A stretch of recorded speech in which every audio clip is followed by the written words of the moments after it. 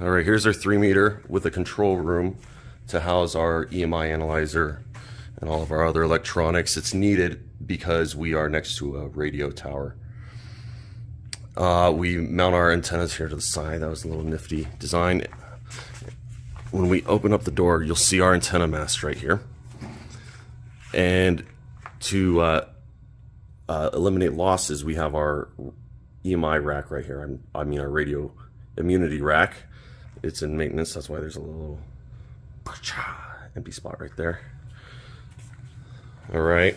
Now it's lifted so that we can run cables underneath the flooring here for one reason or another.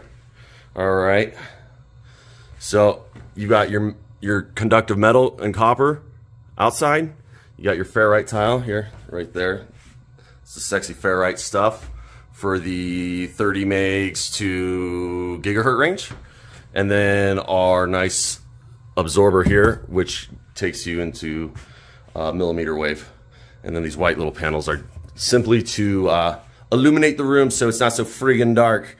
All right, so difference between anechoic and semi-anechoic, simply the floor.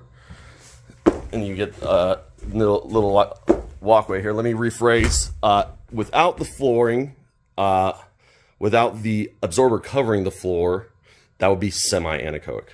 This is a fully anechoic.